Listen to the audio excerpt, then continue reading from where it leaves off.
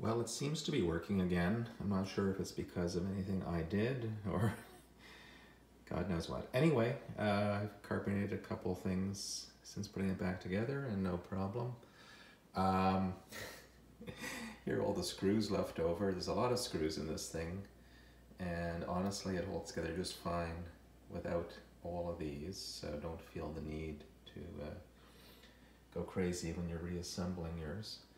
Um, keep in mind that for proper functioning, the valve actually relies on the pressure generated by the, uh, the carbonator.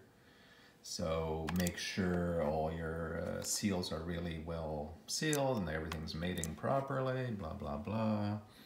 Uh, you might even want to put in hot water to uh, accelerate the, uh, the reaction. Perhaps that might even be a factor, I don't know.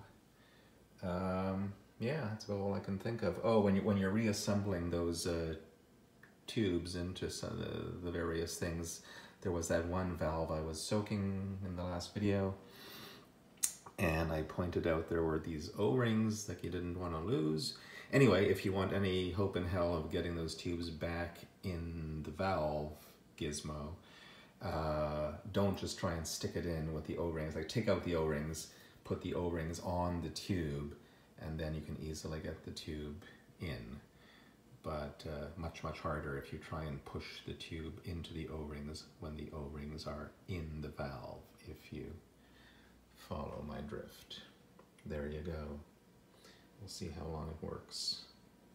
And of course, I'm almost out of carbonate, official carbonator, so I'll be switching to uh, homemade at some point, and uh, I can't imagine that's going to be an issue as much as they'd like to uh, have you think it is.